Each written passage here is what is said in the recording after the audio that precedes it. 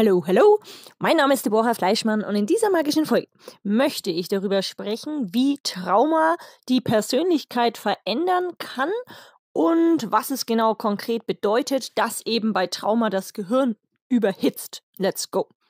Zum Thema Trauma. Traumafolgen, also Konsequenzen von Trauma und was Trauma überhaupt ist, welche verschiedenen Arten von Trauma es gibt und so weiter und so fort, habe ich bereits einige Podcast-Folgen hier auf meinem YouTube-Kanal hochgeladen, die du unter anderem in meiner Playlist Working with Traumatized Human Beings findest oder auch in meiner Playlist Mental Health, Depression, Shadow Work, Shadow Integration wo es sozusagen darum geht, dass Trauma immer bedeutet, dass bestimmte Gefühle abgespalten werden um sie eben nicht zu fühlen, weil sie zu schmerzhaft sind, aber abgespaltene Gefühle immer Entmachtung bedeuten und integrierte Gefühle Ermächtigung. Also sozusagen Trauma ist ein schwerer Einschnitt in die Lebensqualität und in das Leben eines betroffenen Menschen.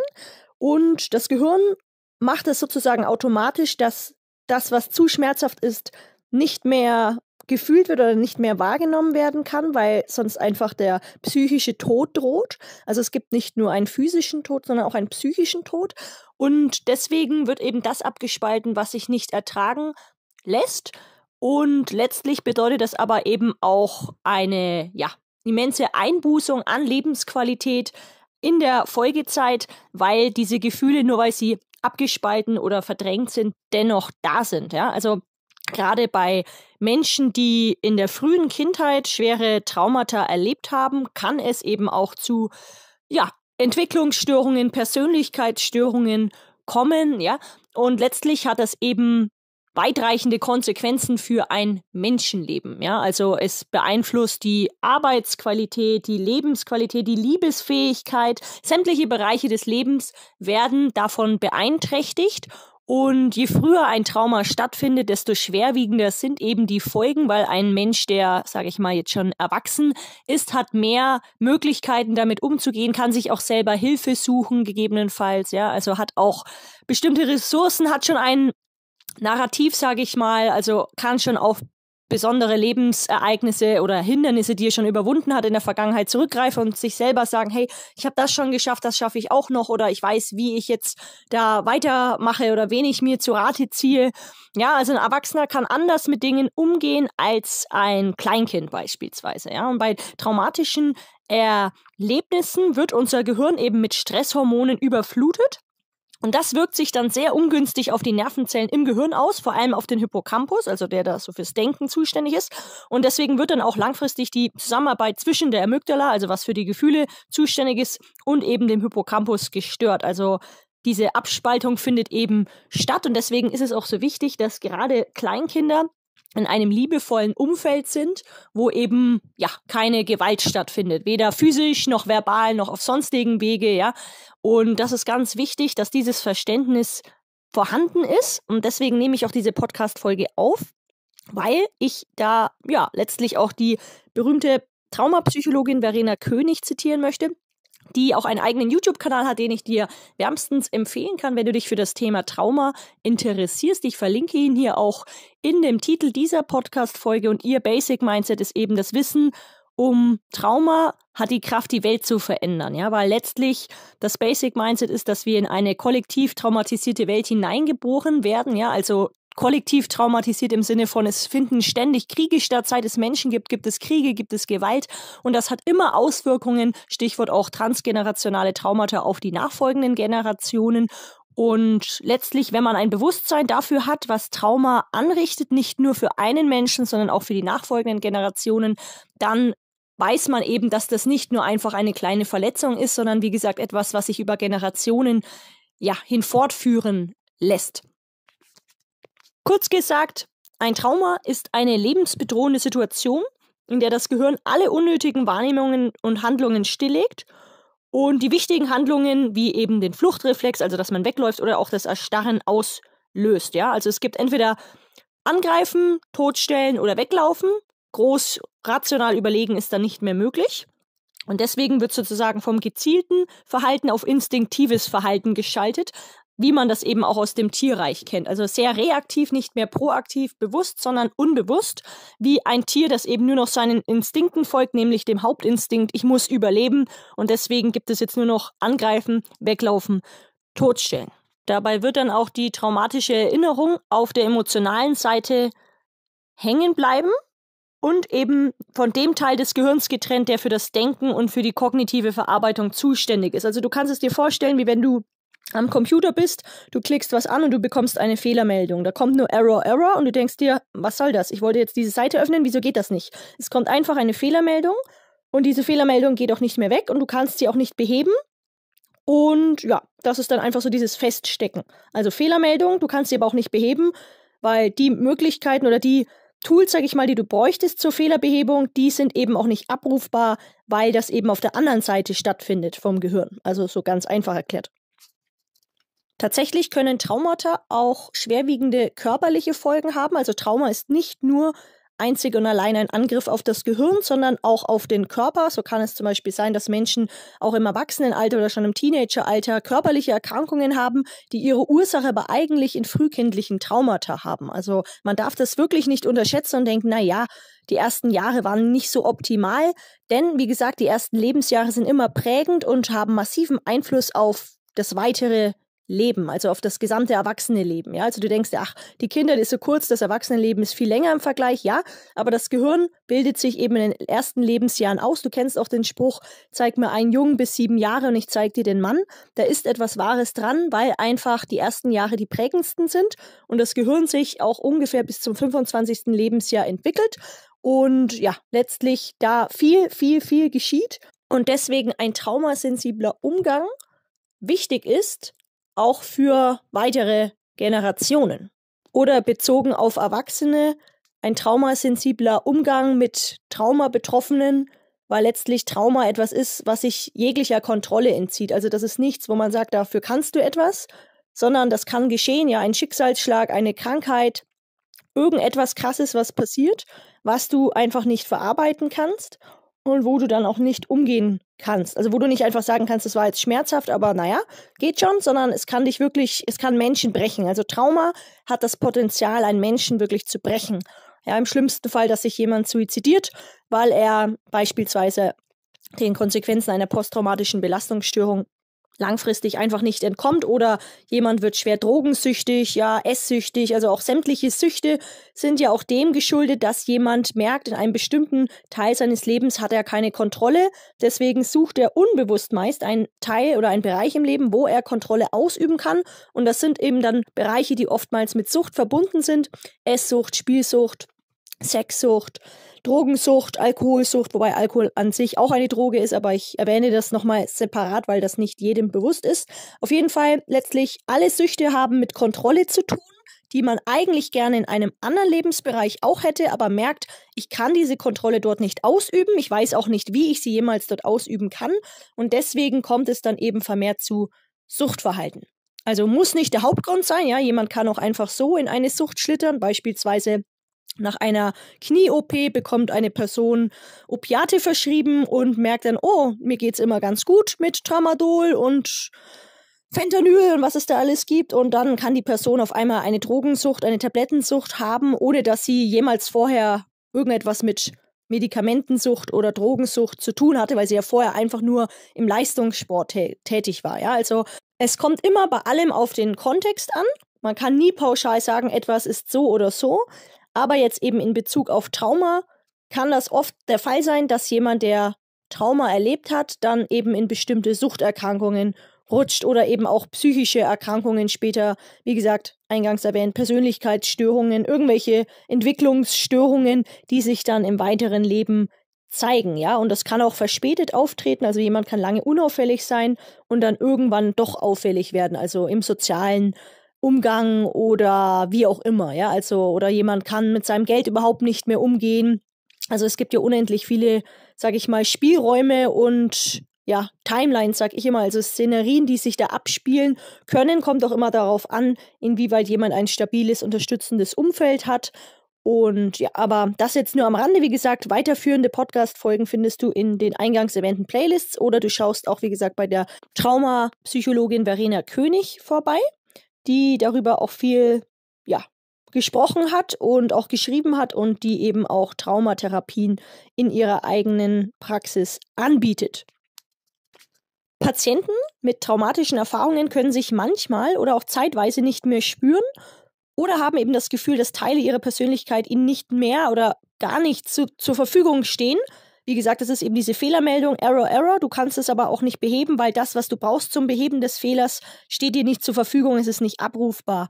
Und deswegen sind sie dann nur noch eingeschränkt fähig, ihren Alltag zu meistern, beruflich wie privat. Ja, also der Work-Life-Flow ist gefährdet. Und das Problematische bei Trauma ist, dass Menschen, die Traumaerfahrungen gemacht haben, dass sie nicht unbedingt ein Bewusstsein dafür haben, weil sie einfach nur wissen, naja, das war jetzt keine gute Erfahrung, das war schlimm für mich, ja, also zum Beispiel äh, Scheidung, oder Trennung oder wie gesagt Krankheit, Verlust, Schicksalsschlag. Es gibt ja so viele verschiedene Szenarien, die ein Menschenleben beeinträchtigen und ja, auch wie gesagt gefährden können, im schlimmsten Fall, dass sich jemand das Leben nimmt. Und deswegen ist Trauma so gefährlich, weil es eben auf den ersten Blick vielleicht nicht als Trauma interpretiert wird oder wie gesagt, weil kollektiv in der Gesellschaft auch noch das Wissen fehlt für Trauma, weil es immer heißt, naja, so ist eben das Leben. Ja, irgendwas ist ja immer ja, irgendwas ist immer, aber wie gesagt, Trauma ist eben nicht einfach eine kleine Schnittwunde am Finger, die von selbst verheilt innerhalb von ein paar Tagen, sondern Trauma ist, wie gesagt, ein Angriff auf das Gehirn und kann auch die Persönlichkeit nachhaltig negativ beeinträchtigen. Und je früher Trauma oder Traumata stattfinden, auch je nachdem, wie schwerwiegend die sind, ja, also zum Beispiel Menschen, die als Kind von sexuellem Missbrauch betroffen waren, können auch sehr schwere Folgen davon tragen, wenn das nicht behandelt wird oder teilweise auch mit Behandlung, die trotzdem ihr Leben lang mit Depressionen und Ängsten kämpfen. Ja, ich habe in meinem Leben insgesamt drei Menschen kennengelernt, die als Kind solche Erfahrungen gemacht haben und ich muss tatsächlich sagen, ich habe riesen Respekt dafür, dass sie ihr Bestes geben im Rahmen ihrer Möglichkeiten und tatsächlich sind diese Möglichkeiten auch unterschiedlich ausgeprägt, tatsächlich abhängig davon, wie früh Hilfe kam, ja, und das hängt auch oft eben davon ab, wie früh jemand Hilfe bekam, wie früh jemand darüber sprechen konnte, sich jemandem anvertrauen konnte. Ich denke, wir leben aktuell in so Zeiten, wo immer mehr Missstände hochkommen, also wo vieles, was im Verborgenen war, auf einmal sichtbar wird, ja, also auch im Rahmen von toxischen Dynamiken, missbräuchlichen Dynamiken, die ja weltweit überall stattfinden können, wo Menschen eben zusammenkommen, dass die Menschen sich jetzt einfach weltweit mehr trauen, Missstände anzusprechen, über das zu sprechen, was ihnen widerfahren ist, was sie erlebt haben. Und das ist auch gut so, weil eben, wie gesagt, dieser kollektive Bewusstseinsanstieg, der stattfindet, nicht mehr aufzuhalten ist und eben auch das Bewusstsein für jeden Einzelnen schärft, was alles passieren kann, welche Gefahren es gibt und wie man dem Ganzen natürlich dann präventiv vorbeugen kann. Ich selbst bin kein Psychologe und biete auch keine Therapien an. Ich selbst habe Sozialwissenschaften und soziale Arbeit in Nürnberg an der Fakultät Technische Ohm-Hochschule Nürnberg studiert und habe dort im Rahmen meiner Arbeit und darüber hinaus auch in meinem Berufsleben mich ausgiebig mit Trauma beschäftigt. Wie gesagt, weiterführende Podcast-Folgen findest du in den eingangs erwähnten Playlists. Und ja, ich persönlich denke, dass jeder Mensch ein Bewusstsein für Trauma haben sollte, einfach weil jeder Mensch ein Teil von einem sozialen Gefüge ist, beruflich wie privat. Und ich persönlich auch davon überzeugt bin, dass du immer ein Stück weit auch Verantwortung für die Menschen trägst, die in deinem Umfeld sind, beruflich wie privat. Du kannst nicht einfach sagen, das geht mich nichts an, beziehungsweise das kannst du natürlich schon, aber aus meiner Perspektive ist das einfach antisozial. Also du hast ein gewisses Verantwortungs- Bestreben an den Tag zu legen. Das ist meine Meinung dazu. Und dazu gehört aus meiner Sicht eben auch das Bewusstsein für Belastungsstörungen, ja komplexe posttraumatische Belastungsstörungen, die beispielsweise nach andauernder Extrembelastung auftreten können. Ja, du hast bestimmt Familienmitglieder, Freunde, Kollegen, Nachbarn, mit denen du tagtäglich irgendwie interagierst und da wird dir auffallen, wenn jemand sich anders verhält. Und ich möchte betonen, dass es da natürlich individuelle Referenz Linien gibt, ja. Also jeder hat so, sage ich mal, seine Baseline. Also wenn jemand von Natur aus immer eher still ist, dann muss man sich keine Sorgen machen, wenn die Person auch weiterhin still ist. Wo jemand anderes, der die Person vielleicht nicht kennt, sagt, der ist aber still, was ist mit dieser Person? Wo dann jemand, der die Person näher kennt, sagen kann, nee, der ist immer so, das gehört so bei dem, ja, das ist er einfach.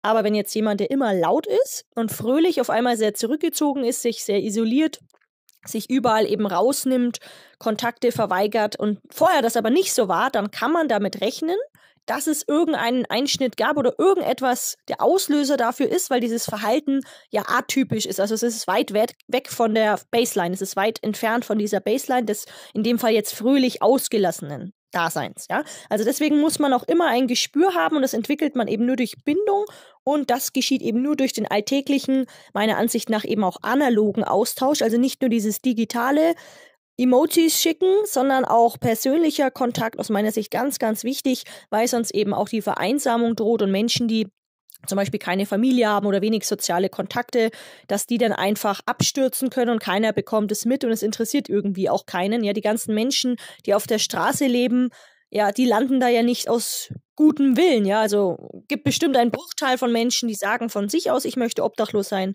ich möchte nicht an dieser Gesellschaft teilnehmen, aber ich bin mir sicher, der Großteil landet dort unfreiwillig, weil es eben ja zu Lebenssituationen kommen kann, die dich auf die Straße bringen, ja. Wenn du minderjährig bist und deine Eltern sind beide Alkoholiker und du weglaufen musst, weil du Angst hast, dass sie dich totprügeln in ihrem Wahn, ja, dann landest du eben gegebenenfalls auf der Straße. Und die ganzen Nothilfestellen, die Jugendämter sind ja überall überfüllt, überall gibt es Personalmangel. Also es gibt einfach da viele Schicksale, die nicht freiwillig so gewählt sind, ja, oder auch Erwachsene, die dann von Armut betroffen sind oder Gewalterfahrungen gemacht haben und dann irgendwie auf der Straße landen oder in Kliniken landen oder wo auch immer. Also da ist oft eben die Ursache Trauma und Gewalterfahrung und deswegen ist es aus meiner Sicht auch wichtig, dass man guckt, wie ist denn das Arbeitsklima? Wie ist denn das familiäre Klima? Man kann nicht einfach sagen, naja, die Zeiten sind eben schlecht und deswegen lasse ich jetzt meine schlechte Laune an allen raus. Jeder Mensch muss für sich Verantwortung übernehmen und eben auch für seine Mitmenschen und dafür Sorge tragen, dass er sie mit Respekt behandelt und eben nicht schlecht behandelt. Weil das Klima sich eben auswirkt, Energien sind ansteckend. Wenn du in einem Umfeld bist, in deiner Familie, beruflich, ja, also wenn du mit Menschen tagtäglich zusammen bist, die dir nicht wohlgesinnt sind, die womöglich sogar gehässig sind, die feindselig sind, die aggressiv oder passiv-aggressiv auftreten, dann macht dich das auf Dauer krank. Ja, es gibt Familien, die sehr destruktiv und toxisch sind. Es gibt Arbeitsklimata, die wirklich sehr destruktiv und toxisch sind. Deswegen kann man nicht einfach sagen, dieses ganze Mental Health Awareness, was soll das? Naja, die Menschen sind nur dann lebens-, liebens- und leistungsfähig, wenn die Umgebung auch stimmt. Ja, du bist in gewisser Hinsicht auch immer ein Produkt deiner Umwelt und letztlich machst du auch deine Umwelt zu einem Produkt von dir. Also das ist immer ein Geben und Nehmen. Das ganze Leben ist ein Energieaustausch, ja, ein Work-Life-Flow kann nur dann gut gelingen, wenn er eben proaktiv statt reaktiv gestaltet wird. Und deswegen kann man nicht einfach sagen, ach, traumasensible Kommunikation brauchen wir nicht. Also ich persönlich glaube schon, dass wenn man merkt, dass es jemandem schlecht geht, dass man diese Person dann auch in gewisser Weise schonen muss, auch aus Arbeitgebersicht oder im privaten Kontext, ja, Familienmitglieder, Freunde, Bekannte, dass man da nicht noch nachtreten muss, wenn jemand sowieso schon am Boden liegt, ja. Und wie gesagt, eine komplexe posttraumatische Belastungsstörung entwickelt sich meistens eben als Folge von sehr schweren und auch anhaltenden oder wiederholten Traumatisierungen. Also da geht es dann nicht nur um eine Traumatisierung, sondern um mehrere, die womöglich auch gleichzeitig auftreten, womöglich auch in jungen Jahren und letztlich Trauma beeinträchtigt immer das Denken, die Gefühle und auch die sozialen Beziehungen. Ja, und letztlich geht es dann darum, dass die Persönlichkeit nach Extrembelastungen auch verändert sein kann. Zum Beispiel kann ich die folgenden Symptome von einer komplexen posttraumatischen Belastungsstörung nennen. Die kann natürlich auch weniger extrem auftreten, aber ich beginne immer am liebsten mit Extrembeispielen und dann kann man ja immer noch, sage ich mal, differenzieren und von der Hemmschwelle runtergehen. Also Punkt eins Veränderungen bei der Regulierung von Gefühlen. Also beispielsweise hat jemand Schwierigkeiten, die Gefühle zu steuern, ja, fehlende Impulskontrolle, dass jemand dazu neigt, sich selbst zu zerstören mit seinem Verhalten. Ja, wie gesagt, Drogensucht, Spielsucht, Esssucht, ja, riskantes Autofahren oder allgemein eben ein sehr ausgeprägtes Risikoverhalten, wo man, wenn man von außen drauf schaut, sich fragt, okay, also hat diese Person überhaupt noch einen Lebenswillen oder was ist da los? Punkt zwei, dann auch die Veränderungen bei Aufmerksamkeit und Bewusstsein, ja, also eventuell auch Amnesie, also die Verlust von Erinnerungen, neigen zu Dissoziationen, also dass man sich selbst entfremdet fühlt, dass man sich von sich selbst irgendwie wegkoppelt. Wie gesagt, Denken und Fühlen sind gestört und getrennt. Dann auch, wie gesagt, Veränderungen bei der Selbstwahrnehmung und auch beim Gefühl der eigenen Identität.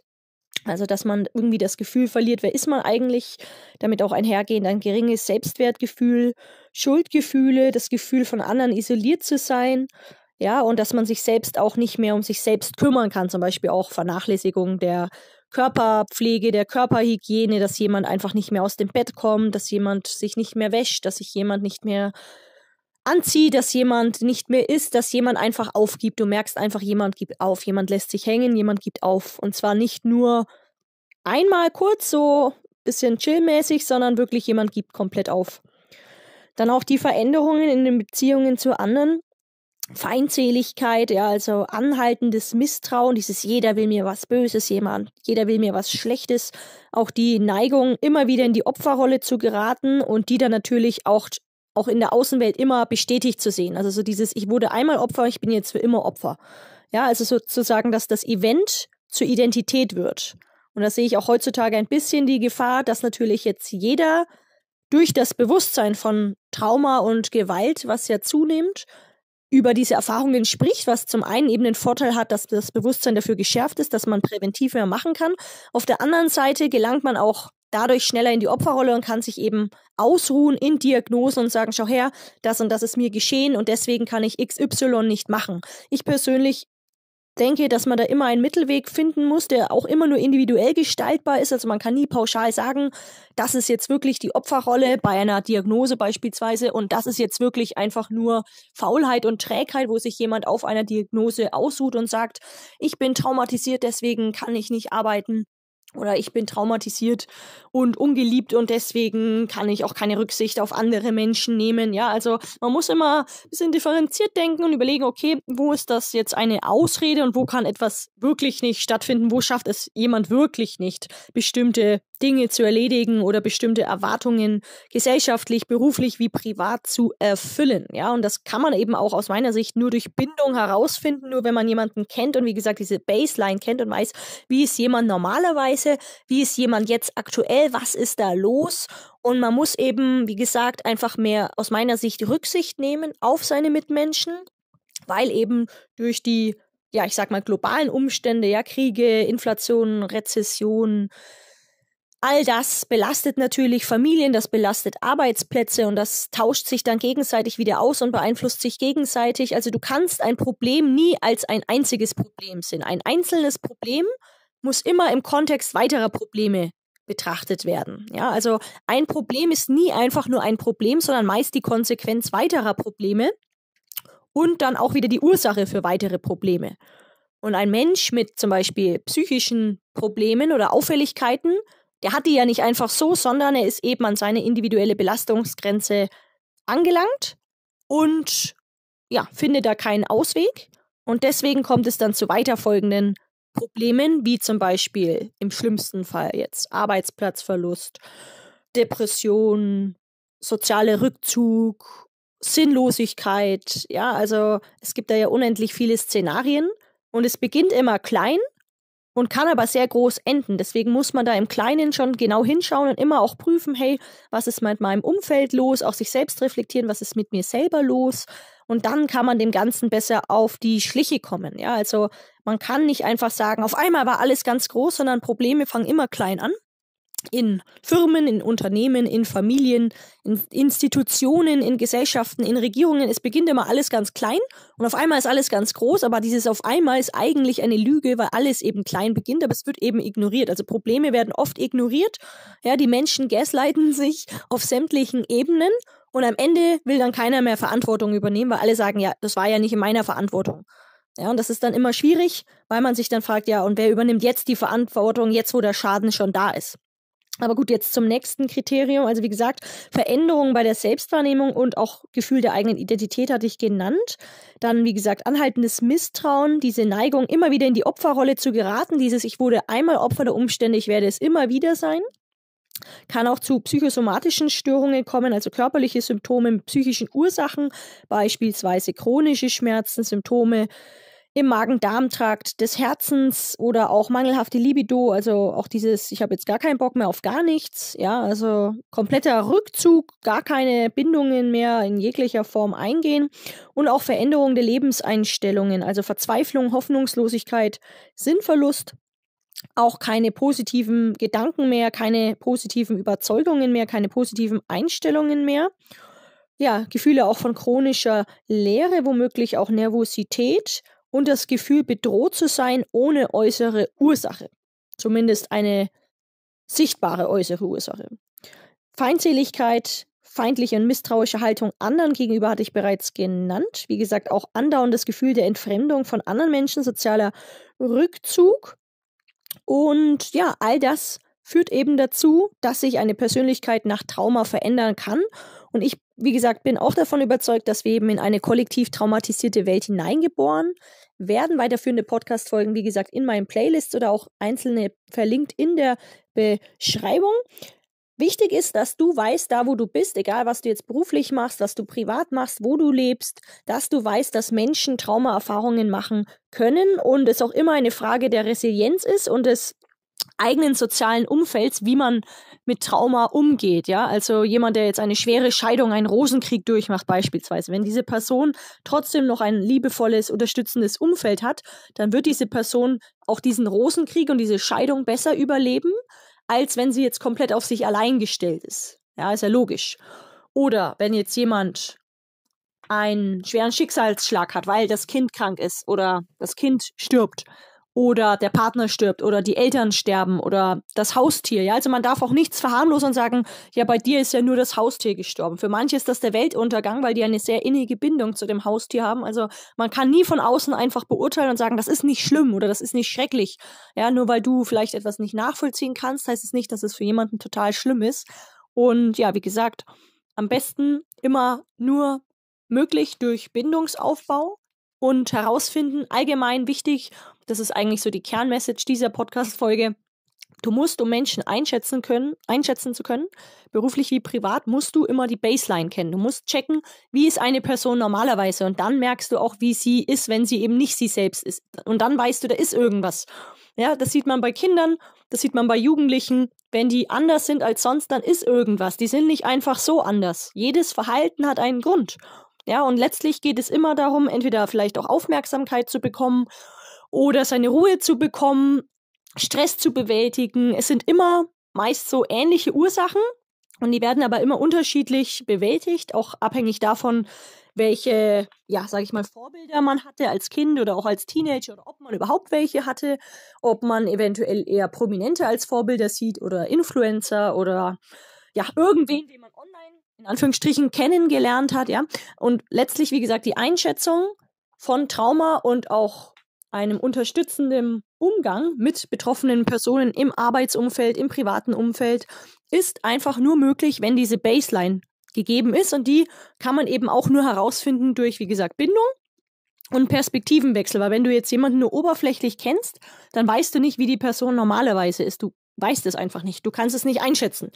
Ja, wenn ich jetzt jemanden kennenlerne, weiß ich nicht, ist der immer so? Ist der nur so, weil XY? Ich weiß es nicht. Ich kann es nur herausfinden, wenn ich mich mit der Person unterhalte und wenn ich eine Bindung aufbaue. Und das ist überall so. In jeglichen Kontext, in jeder Berufsbranche, in jedem Konstrukt von Familie, von Beziehung, von Institution, von Firma, es ist immer dasselbe. Es gibt auch Baselines von Institutionen. Ja, kann ja sein, dass zum Beispiel eine Firma immer sehr, sag ich mal, verantwortungsvoll war und ja, gute Zahlen geschrieben hat. Alle waren happy, alle waren ja erfolgreich, produktiv und dann kam eben eine wirtschaftliche Krise und auf einmal ist sie eventuell von eigenen Werten abgewichen, um bestimmte Sachen wieder auszugleichen. Das sorgt dann eventuell für Unruhe intern, ja, und da weicht man dann letztlich von der institutionellen Baseline ab. Also überall gibt es Baselines, das gibt es individuell für Privatpersonen, das gibt es für Kollektive wie Familien es gibt überall Baselines, also so diese Grundlinie, dieser Grundwert, auch eine Grundstimmung, die jemand an den Tag legt. Ja, es gibt Menschen, die sind von Natur aus eher ein bisschen melancholischer, grundsätzlich eher ein bisschen ruhiger, zurückgezogener. Und wenn man die dann trifft und die kennenlernt, dann weiß man, ah, der ist immer so. Und da fällt einem dann auch auf, wenn jemand vielleicht noch trauriger ist als sonst. Also ich lache nicht, weil das lustig ist, sondern weil ich gerade an jemanden denke, auf den das zutrifft. Ja, also jemand, der so melancholisch ist und auf einmal ist jemand so richtig melancholisch und du merkst, also jetzt muss ich auch mal wieder intervenieren, sonst geht das in eine falsche Richtung.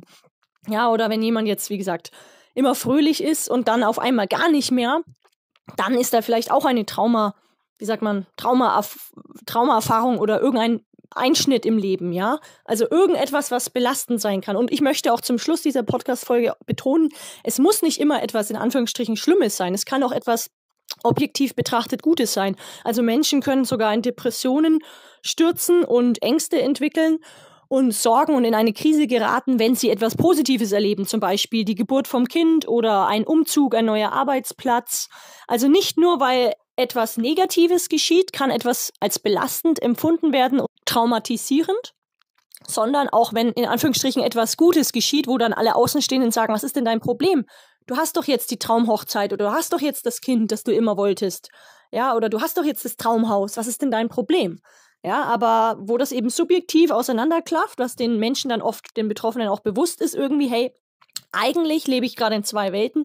Ich sollte mich eigentlich freuen, aber ich freue mich überhaupt nicht. Das gibt es auch. Ja, also wie gesagt, man muss das immer individuell betrachten. Und man darf die Leute nicht gaslighten und die eigene Realität, die eigene Meinung, das eigene Weltbild, die eigenen Überzeugungen einfach so überstülpen und sagen, das gilt für mich, das gilt dann auch für dich. Man darf nicht einfach die eigenen Annahmen für alles und jeden gleichermaßen anwenden, sondern man muss das immer individuell betrachten. Und das kann man aber eben nur, wenn man, wie gesagt, die Baseline kennt und einfach merkt, hey, du bist doch sonst nicht so. Warum bist du jetzt so? Was ist los? Also, dass man mit Menschen im Gespräch bleibt und sie wie Menschen behandelt und nicht wie Objekte und einfach sagt, du machst das und du bist dafür da und du musst nur funktionieren und das und das tun. Weil Menschen, die merken, dass sie nicht wie Menschen behandelt werden, die werden sich entweder aus der Beziehung entfernen, aus der Familie entfernen, aus der Firma entfernen und woanders hingehen. Das ist einfach so, ja. Also das ist ein Naturgesetz. Keiner möchte wie ein Objekt behandelt werden. Keiner möchte einfach nur von A nach B nach C geschoben werden, ohne richtig gehört zu werden. Und ich glaube, dass das heutzutage mehr denn je ein Problem ist, weil die Menschen so alle mit sich selbst beschäftigt sind dass sie denken, naja, wenn jeder mit sich selbst beschäftigt ist, dann ist ja an jeden gedacht. Ja, also so dieses, wenn jeder an sich selbst denkt, dann ist an alle gedacht. Aber es gibt eben Menschen, an die denkt gar niemand. Und das ist schon auch ein Teil von gesellschaftlicher Verantwortung, der man eben in dem Rahmen nachgehen kann, wo man sich bewegt, beruflich wie privat. Wie gesagt, ich bin davon überzeugt, du bist schon verantwortlich für die Menschen, mit denen du arbeitest, mit denen du lebst, ein Stück weit. Das heißt nicht, dass du ihre Lasten tragen musst, aber dass du mit ihm im Dialog bleiben musst und sie nicht einfach ja, abstempeln oder in Schubladen stecken darfst, weil du weißt nie, was dir mal im Leben passiert und du weißt aber ganz genau, was du dir wünschst, wie man mit dir umgeht, ja? Also letztlich diese Urweisheiten, ja, du willst oder du solltest Leute so behandeln, wie du selbst behandelt werden möchtest, das gilt einfach überall und es ist letztlich ja dieses Spiegelprinzip, ja, es kommt alles immer irgendwann zurück, vielleicht nicht von derselben Person, vielleicht auch nicht gleich danach, aber irgendwann glaube ich schon, also ich persönlich glaube schon so an energetisches Karma, dass alles irgendwann zurückkommt. Die Einstellung, die du gegenüber dem Leben hast, die du gegenüber Menschen hast, die du gegenüber der Arbeit hast, das kommt früher oder später zurück. Wie gesagt, nicht von denselben Menschen automatisch oder von demselben Arbeitsplatz, aber irgendwann kommt alles irgendwie zurück.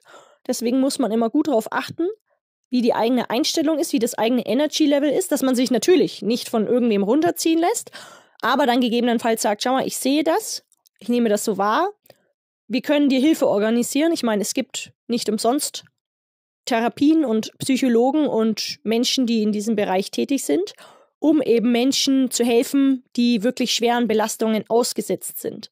Wie gesagt, kein Problem kann isoliert betrachtet werden. Meistens ist ein Problem nur die Konsequenz von viel tiefer liegenden Problemen und auch die Ursache von weiteren Problemen. Man muss auch Menschen immer im Kontext betrachten. Also wie ist die aktuelle Lage, beruflich, privat? Du kannst nie sagen, es läuft da schlecht und das war's, sondern meistens ist es auch irgendwas anderes noch in Bereichen, die du vielleicht jetzt nicht siehst oder nicht wahrnehmen kannst. Und letztlich ist auch alles immer im Kontext des Zeitgeists zu betrachten. Ja, wir alle wissen, Werte, Normen, Paradigmen, auch Gesetze, die ändern sich, je nachdem, was gerade modern ist, was in ist. Ja, also jetzt aktuell eben auch viel Trauma Care, Mental Health Awareness auch nur möglich, weil der letzte Weltkrieg schon lange her ist, kann sich auch wieder umwandeln. Das möchte ich betonen, ja. Also du hast immer nur dann die Möglichkeit, Gefühle aufzuarbeiten und Gefühle zuzulassen, wenn du gerade keine Krise hast, ja. Also die Menschen während und nach des Zweiten Weltkriegs, die konnten nicht sagen, jetzt möchte ich mal über meine Gefühle reden, weil das hat niemanden interessiert. Die mussten das Land wieder aufbauen, die mussten gucken, dass sie zu essen haben. Die waren alle kollektiv in einem Überlebenskampf. Da war nichts mit Mental Health Awareness. Ja, also es ist natürlich auch ein Luxusgut, über Stress und psychische Beschwerden zu reden. Wie gesagt, Trauma eine extreme Belastungsform der Psyche. Aber wie gesagt, und das ist so mein Basic Credo, man darf sich niemals, zumindest niemals zu lange in der Opferhaltung befinden, weil du gewöhnst dich an Haltungen, du gewöhnst dich an Einstellungen. Ja, es fängt immer klein ein, an. Du sagst vielleicht heute, ich mache heute mein Bett nicht, ich habe keine Lust. Morgen sagst du auch, ach, ich brauche mein Bett nicht machen, ich lege mich eh wieder rein. Ja, du machst es immer wieder und irgendwann merkst du, ey, ich habe schon seit drei Jahren mein Bett nicht gemacht. Und das war auch nur der Anfang. Dann habe ich auch angefangen zu trinken. Also jetzt als extremes Beispiel natürlich sind dazwischen noch ein paar andere Schritte. Aber ich persönlich glaube schon, dass alles immer so klein anfängt, so schleichend. Und man sagt immer, ach, passt schon, geht schon. Aber letztlich, diese kleinen Dinge, die man dann lässt, führen dann zu großen Dingen, die man nicht lässt oder die man dann vernachlässigt.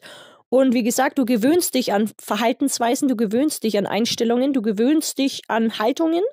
Und ich glaube schon, dass wenn sich jemand in dieser Opferhaltung befindet und sich daran gewöhnt, dass er es sich dann darin auch bequem machen kann. Wie gesagt, nicht falsch verstehen. Menschen, die wirklich schwere Dinge erleben, die brauchen professionelle Hilfe, aber immer mit dem Hinweis, dass das langfristige Ziel ist, aus dieser Opferhaltung rauszukommen und nicht da drin zu bleiben. Also letztlich mit Energy Shift, dass man sagt, okay, das war schrecklich, aber posttraumatisches Wachstum kann stattfinden, wenn ich eben an mir arbeite und wenn ich das und das ändere und vor allem das und das akzeptiere, weil es einfach Dinge gibt, die sind schrecklich, die kann man nicht mit positiver Einstellung irgendwie ändern oder da kann man auch nichts Gutes draus ziehen. Manche Dinge sind einfach nur schrecklich und da kann man einfach nur akzeptieren. Ja, aber wie gesagt, das ist immer auch kontextabhängig und immer individuell zu betrachten. Aber mein Basic Mindset trotzdem immer Opferhaltung verlassen, vorsichtig sein bei dem, was Menschen sagen und wie sie sich verhalten, immer wieder die Bindung prüfen Inwieweit ist man überhaupt an einer Bindung interessiert? Inwieweit kann man Empathie wirklich an den Tag legen? Inwieweit ist man fähig, Perspektivenwechsel vorzunehmen? Und inwieweit ist man fähig, die Baseline von Menschen rauszufinden? Ja, also wie gesagt, das ist ja immer so eine Typsache, auch Charaktersache. Manche Menschen sind von Natur aus eher stiller, manche sind eher lauter, manche sind so, manche so. Ja, also wie gesagt, wie die Persönlichkeit ist. Und dann, wenn du diese Baseline kennst, dann weißt du auch, inwieweit sich jemand von der Persönlichkeit her verändert. Und dann merkst du auch, Moment mal, dass jemand ganz schön weit weg von der Baseline. Da muss irgendwas nicht stimmen. Das ist nicht normal. Ja, und es ist eben oft, wenn Menschen viel Stress erleben, chronischen Stress erleben oder im schlimmsten Fall eben Traumaerfahrungen machen und ja, wie gesagt, je früher Traumaerfahrungen stattfinden, also in der Kindheit und je heftiger sind und je öfter die stattfinden, desto schwerwiegender sind dann die Folgen. Wie gesagt, Menschen, die dann Persönlichkeitsstörungen haben, Entwicklungsstörungen, Bindungsstörungen, es gibt ja alles Mögliche und letztlich ist das Spektrum auch sehr breit. Also man kann nicht einfach sagen, jemand ist dort zu verorten, sondern es ist sehr breit, dieses Spektrum und ja, da gibt es dann auch wieder verschiedenste Abstufungen und das kann sich aber auch alles nochmal ändern. Und ja, letztlich gibt es ja dafür dann auch ausgebildete Psychologen und Psychotherapeuten und Psychiater, die Menschen dann helfen können, wieder in die Spur zu kommen. Wichtig ist für dich, dass du, wenn du eben jetzt bis hierher gehört hast, checkst, okay, also es gibt Sachen, die sind wirklich einfach zu krass für ein Menschenleben und dass du für dich jetzt mal fragst, okay, kenne ich die Baseline von meinen Mitmenschen? Zum Beispiel, von deinen Eltern, von deinen Kindern, falls gegeben, ja, von deinen Geschwistern, von deinem Partner, von deinem Vorgesetzten, von deinen Kollegen und Kolleginnen, von deinen Nachbarn, von Menschen einfach in deinem privaten und beruflichen Umfeld, wo du einfach sagst, da kenne ich die Baseline. Ich weiß sofort, ich erkenne das teilweise schon an den Augen, wie jemand drauf ist oder am Blick, ja, oder am Gang teilweise. Du erkennst es einfach mit der Zeit. Du weißt, wenn jemand so redet oder so läuft oder auch nur so die Tür öffnet, du weißt sofort, wie die Person drauf ist. Ja, das bedeutet dann, dass du wirklich eine sehr feinfühlige Wahrnehmung hast. Und diese Baseline teilweise schon spürst, noch bevor du die Person siehst, hat natürlich auch Nachteile, ja, weil du dann vielleicht zu sehr im Außen bist. Also wie gesagt, das ist nicht damit gemeint, dass du jetzt für alle hier Verantwortung übernehmen musst und immer gucken musst, wer wie drauf ist. immer in erster Linie bei dir selber bleiben, weil nur dann kannst du auch anderen helfen oder sagen, schau mal, ich glaube, du brauchst Hilfe, du musst irgendwo hin. Aber wie gesagt, die Baseline findest du nur raus, wenn du auch ein bisschen aus dir rausgehst. Ja? Also du bist nicht der einzige Mensch auf der Welt und du bist nicht der einzige Mensch mit Problemen. Und es gibt Menschen natürlich, die haben krassere Probleme als die anderen. Und alles ist natürlich auch immer eine Frage der Perspektive. Ja, wie gesagt, frag jemanden in einem Büro in Deutschland mit seinen Mental Health Themen und dann frag jemanden in Afrika nach seinen Problemen. Ja, also es sind einfach unterschiedliche Perspektiven. Man kann auch nie pauschal sagen, das ist jetzt wirklich ein Problem und das ist keins, weil wie gesagt, alles immer eine Frage der Perspektive ist, immer auch eine Frage davon, wie gesagt, wie lange der letzte Krieg her ist. Wenn jetzt hier in Deutschland jetzt ein Krieg ausbrechen würde, dann würde womöglich demnächst keiner mehr über Mental Health Awareness sprechen, sondern da würden dann am besten die funktionieren, die ja sich am besten im Griff haben und die die Gefühle womöglich auch für eine Weile abstellen können. Was nicht heißt, dass das gesund ist, aber also jetzt in Hinblick auf einen Kriegskontext am nützlichsten. Ja, deswegen wurden ja auch Jungen oder ich sag mal Kinder und, und allgemein Menschen des männlichen Geschlechts überwiegend so erzogen, dass sie ihre Gefühle unterdrücken sollen. Warum? Weil sie dann kriegstauglich sind. Ja, weil ein Mann muss stark sein, er muss funktionieren. Und das weicht jetzt aber immer mehr auf dass man sagt, hey, Männer dürfen auch Gefühle haben, die haben auch Gefühle, die dürfen sie auch zeigen. Ja, was nicht heißt, dass sie dann zu weich sind, sondern einfach in Hinblick auf emotionale Intelligenz, dass sie sich eben nicht selbst schädigen mit ihrem Verhalten, weil sie eben denken, sie sind die Größten und die Tollsten, sondern dass sie sich auch Hilfe suchen dürfen bei Problemen und das sogar, ja, sie dann beruflich und privat weiterbringt, als wenn sie alles alleine mit sich selber ausmachen wollen. Ja, also das ist aus meiner Sicht die gesunde Form davon. Aber wie gesagt, alles hängt immer davon ab, auch Erziehungsmethoden, wie lange der letzte Weltkrieg zurückliegt. Und man merkt es ja auch, wie bestimmte Nationalitäten mit ja, solchen Thematiken und Erziehungsfragen umgehen. Letztlich aber nochmal abschließend zu sagen, Trauma ist etwas, was wirklich jeden Menschen treffen kann und jeden Menschen nachhaltig verändern kann, auch die Persönlichkeit nachhaltig verändern kann. Und deswegen ist das Bewusstsein für Trauma so wichtig, auch wenn man selber nicht betroffen ist oder selber niemanden kennt, wobei ich davon ausgehe, dass jeder irgendwen kennt, der etwas Traumatisches mal erlebt hat. Wie gesagt, ist auch subjektiv, ja. Wie gesagt, der eine hat ein Trauma davon, dass ein Schäferhund kam und ihn gebissen hat. Und der nächste sagt, also das ist gar nichts. Ich komme aus einem Kriegsgebiet und habe Leute gesehen, wie die erschossen wurden. Was willst du mit deinem Schäferhund? Ja, also ist trotzdem beides eine Form von Trauma. Aber wie gesagt, unterschiedliche Abstufungen und immer kontextabhängig. Ja? Wichtig also nochmal zusammenfassend, Perspektivenwechsel wichtig, Bewusstseinserweiterung wichtig, Bewusstsein für Trauma und Traumafolgen wichtig, Baseline von Menschen, vor allem Mitmenschen eben kennen wichtig, private, soziale Beziehungen auch offline und analog pflegen sehr, sehr wichtig und immer checken, jedes Verhalten hat einen Grund und nur weil du den Grund nicht kennst, heißt es nicht, dass er nicht existiert. Ja, und wie gesagt, jedes Problem hat weitere Probleme zur Folge und ist die Folge von irgendeinem noch größeren Problem. Ja, also je nachdem, wie tief man graben will. Aber das heißt jetzt nicht, dass man da sein Leben mit Graben beschäftigen muss. Aber ich glaube schon, dass die Lebensqualität steigt, wenn man nicht nur lebt, um zu funktionieren und alle Erwartungen zu erfüllen. Ja, also das ist immer so ein schwieriger Spagat. Man kann nie eindeutig sagen, so muss es gemacht werden, so muss gelebt werden. Immer auch subjektiv wichtig, dass man das subjektiv für sich entscheiden kann. Wie gesagt, aufmerksam sein mit den Mitmenschen und gucken, wer verhält sich wie und ist da irgendein abweichendes Verhalten. Was war in letzter Zeit da los? Ganz, ganz wichtig, weil nur so kann man eben dafür Sorge tragen, dass ja, der Work-Life-Flow individuell, kollektiv und global gelingen kann. Und wie gesagt, das Bewusstsein für Trauma auch in Hinblick auf Kinder sehr, sehr wichtig, dass man versteht, dass ein liebevolles Umfeld nicht ein Nice to have, sondern ein Must have ist. Also es sollte kein Privileg sein, aber leider ist es das noch, dass eben viele Kinder kein liebevolles Zuhause haben oder kein liebevolles Umfeld. Und deswegen umso wichtiger, dass man das versteht, dass Trauma je früher es stattfindet, umso schwerwiegendere Folgen haben kann, weil wie gesagt Trauma immer ein Angriff auf das Gehirn ist und ein Kleinkindgehirn hat noch nicht die Fähigkeiten, Dinge zu reflektieren und einzuordnen und ein neues Narrativ zu bilden, weil noch keine Widerstandsfähigkeit, also keine Resilienz ausgebildet wurde, wie jetzt bei einem Erwachsenen, der womöglich schon einige Krisen, ja, mit Sicherheit, nicht nur womöglich, sondern mit Sicherheit schon hinter sich gebracht und erfolgreich gemeistert hat. Ja, also Resilienz kommt ja nur dadurch, dass man Herausforderungen begegnet und die überwindet. Deswegen meine ich auch, dass man mit traumasensibel nicht verwechseln darf, dass jemand jetzt gar keine Krisen mehr durchmachen sollte und gar keine Herausforderungen haben sollte.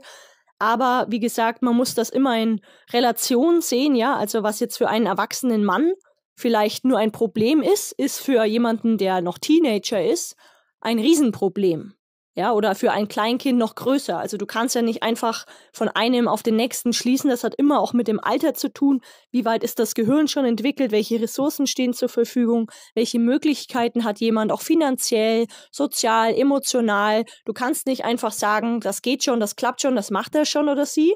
Das kommt immer auf auch ja, den ganzen Kontext an und der muss erstmal erschlossen werden. Und wie gesagt, das beginnt aus meiner Perspektive immer mit der Baseline, weil das das Erste ist, was du bei Menschen kennenlernst, wenn du länger mit ihnen zusammenarbeitest oder zusammen bist. Wie sind die drauf? Was ist so der Grundtonus? Was ist so die Grundstimmung? Und dann checkst du, aha, es gibt Abweichungen. Warum ist das so? Ja, ganz wichtig, dass du das verstehst. Wie gesagt, das Bewusstsein für Trauma unendlich wertvoll aus meiner Perspektive. Soll, wie gesagt, nicht heißen, dass man gar keine Herausforderungen und gar keine Krisen und gar keine Hindernisse braucht. Im Gegenteil, ja, also du wächst ja nur, wenn du auch Hindernisse hast. Aber wenn die eben zu überfordernd sind oder zu früh, dann kann ein Mensch tatsächlich brechen. Oder wenn die einfach wirklich zu hart sind, dann kann ein Mensch wirklich psychisch brechen. Du kannst Menschen psychisch brechen. Nicht umsonst gibt es ja auch Foltermethoden in bestimmten Institutionen. Du kannst Menschen wirklich psychisch brechen. Deswegen muss man das ernst nehmen aber wie gesagt auch immer im jeweiligen Kontext betrachten. Also man kann jetzt nicht einfach sagen, oh nein, nichts darf mehr traumatisieren, alles ist traumatisierend, das wäre dann wieder das nächste Extrem. Aber wie gesagt, die ganze Mental Health Awareness Thematik auch nur deswegen möglich, weil der letzte Weltkrieg so lange her ist und würde meiner Ansicht nach sofort gestrichen werden, wenn jetzt sofort der dritte Weltkrieg real für uns ja, ausbrechen würde. Also wenn jetzt hier, da wo du wohnst, wenn da jetzt Panzer fahren würden, dann würdest du nicht sagen, Moment mal, das passt jetzt nicht in mein Mental Health Awareness Konzept, sondern du würdest auch sofort in den Fluchtmodus schalten oder überlegen, wie sichere ich das Leben meiner Familie, wie schütze ich mich, wohin kann ich gehen, wie kann ich zurechtkommen. Ja, also da wirst du dann womöglich nicht den Psychologen fragen, sondern du wirst dein Netzwerk abfragen und sagen, ey, was macht ihr, wohin geht ihr, wohin geht's, ja, was ist jetzt los und was machen wir? So, ja, also so auf Kick. Gut, das war's dann von meiner Seite. Wie gesagt, das Bewusstsein für Trauma unendlich wichtig, ist aber auch immer eine Frage der Perspektive und wie gesagt, das Wissen um Trauma hat die Kraft, die Welt zu verändern. Da kann ich mich Frau Verena König nur anschließen. Ihren Kanal, wie gesagt, verlinke ich auch im Titel. Ansonsten, wie immer, keep it in the Villa.